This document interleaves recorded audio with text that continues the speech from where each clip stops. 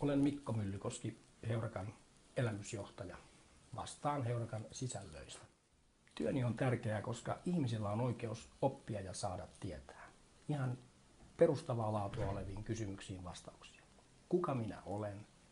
Miten maailma toimii? Miten minä liityn maailmaan ja muihin ihmisiin?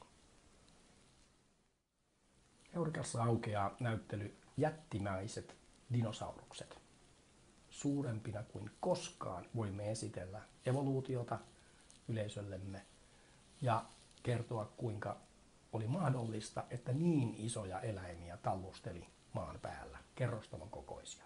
Ja kuinka taas toisaalta kaikkein pienimmät dinosauruksista elävät yhä lintuina.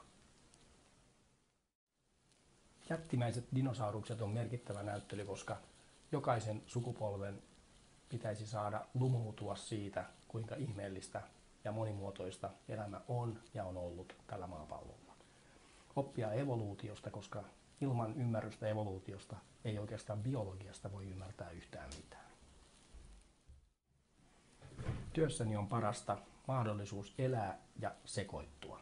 Mahdollisuus ymmärtää elämän monimuotoisuutta, ihmiskunnan monimuotoisuutta ja tutustua siihen, luoda siltoja ja muodostaa, luoda tilanteita, jossa voimme kohdata luonnon ihmeitä, mutta myös ihmiskunnan ihmeellisyyttä.